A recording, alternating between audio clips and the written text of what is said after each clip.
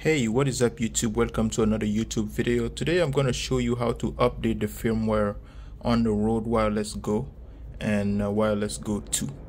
Alright, so right now I have the receiver connected to a computer using USB-C.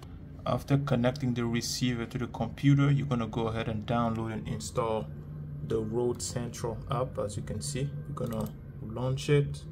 We have the connected uh, receiver right here and the software is going to automatically detect that there is a new firmware available. So the current receiver is rocking version 2.2.3 and now there is a new version 2.5.0 available. Click update. All right and now you have I have my wireless devices ready. And as you can see it's gonna go ahead and update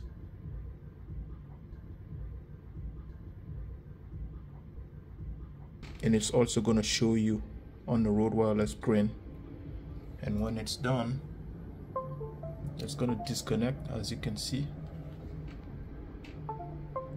and reconnect. All right when it reconnects the progress is still going. And now we are successfully updated to version 2.5.0 all right now let's go ahead and close this. And as you can see now here is the version 250 ready to go. Now I'm gonna go ahead and do the same for the two transmitters. So I had them charging.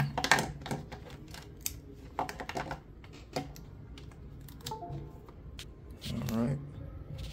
And as you can see we also have a firmware available. We're gonna connect it. And then we're gonna update. Uh, here it says backup and update because uh, if you have the backup recording enabled um, the transmitter is also going to behave as a storage for everything you record. So it's going to make sure you update all your uh, audio files before updating. I didn't use that option so I'm just gonna go ahead and hit update.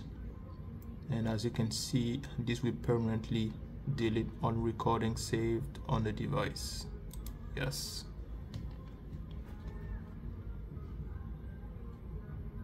Alright update. Progress.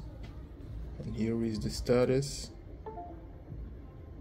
as it finishes it's going to disconnect automatically and reconnect. As you can see.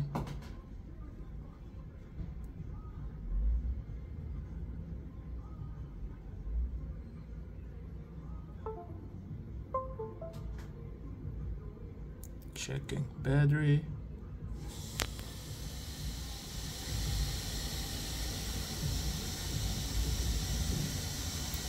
Alright, now we are successfully updated. We can go ahead and hit close. Alright, next step we're gonna connect the second transmitter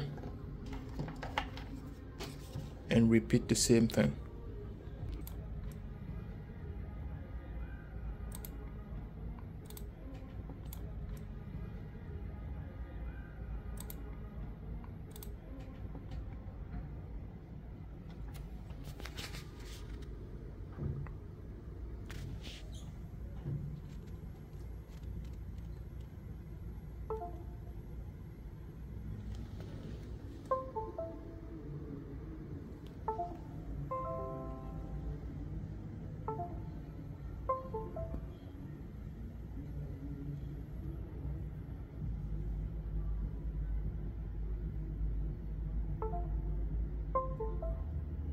Alright, so we successfully updated all three of the Rode wireless system.